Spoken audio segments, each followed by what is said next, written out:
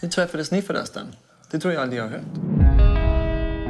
Vi hade chattat ett tag. Då Adrian iväg på något fotojobb till LA.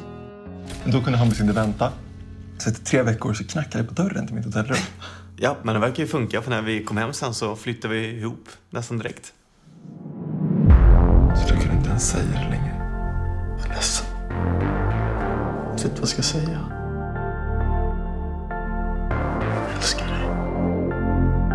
Vi finns inte längre. Jag tänkte det med som att vi bara hade, hade en dipp eller något. Jag är inte intresserad av att träffa någon ny. Ja, du behöver inte träffa någon ny för att hitta en ny pojkvän. Adrian, du ska bara ha lite kul. Jag har träffat någon. En ny kille. Jag vill tillbaka min säng. Du och jag får prata om en annan dag. Vi måste faktiskt sova här nu. Vår säng!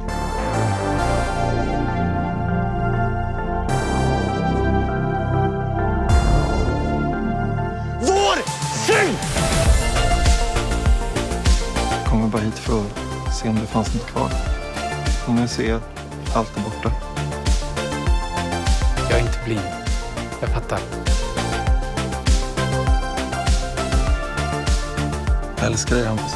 Jag kommer alltid göra det.